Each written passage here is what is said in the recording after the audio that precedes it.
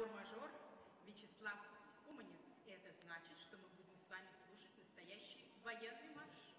Композитор Свиридов написал его в музыкальных иллюстрациях повести Пушкина «Метель». А эта повесть напоминает нам о событиях 1812 года, когда русские войска одержали большую победу.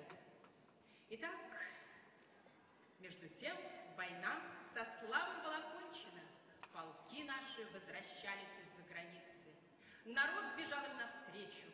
Офицеры, ушедшие в поход почти отроками, возвращались, возмужав на бранном воздухе, обвешанные крестами. Время незабвенное, время славы и восторга, как сильно билось русское сердце при слове «Отечество».